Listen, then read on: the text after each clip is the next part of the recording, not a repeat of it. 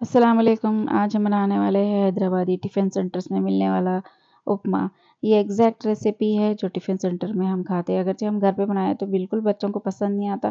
क्यों बोल तो हम उसमें क्या करते बहुत सारे वेजिटेबल्स ऐड कर देते तो ये बिल्कुल टिफ़िन सेंटर में वाला टेस्ट आएगा आपको इनशाला तो मैं यहाँ पर क्या करी, दो से तीन टीस्पून ऑयल गरम कर लेते हैं। साथ में थोड़ी सी राई डाल हाफ़ टी स्पून हरी मिर्च को इस तरीके से स्लिट्स करके डाल दीजिए, थोड़े से करी पत्ता डाल दी मूंगफली है, आप चाहे अगर मूंगफली पसंद है तो डालें।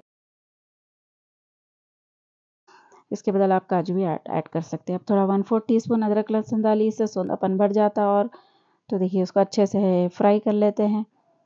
ये मीडियम हीट रखना है इसके साथ साथ फ्राई कर लीजिए अब अब मैं लास्ट में यहाँ पर एक टेबल स्पून मूँग की दाल डाल रही हूँ। तो इससे क्या होता है, इससे भी थोड़ा बीच बीच में सॉफ्ट सॉफ्ट उपमे के साथ थोड़ा सा क्रंच आ जाता। तो अब उसमें एक टीस्पून नमक डाल दी मैं, पानी ऐड कर लीजिए। अब हम जितना रवा ले रहे हैं, उसके चार हिस्सा पानी डालना। तो यह टू थर्ड कप मैं यहाँ पर रवा ऐड कर रही हूँ तो वह हिसाब से इसे मेजर करके चार हिस्से पानी डाल देते हैं।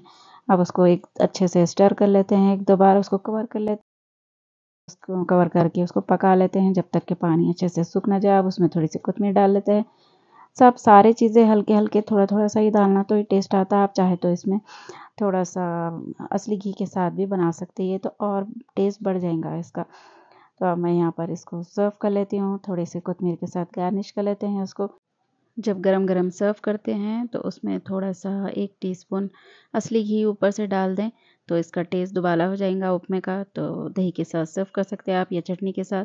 तो देखिए हमारा झटपट रेडी है, खाएँ, खिलाएँ, खुश रहें। अल्लाह हाफिज़।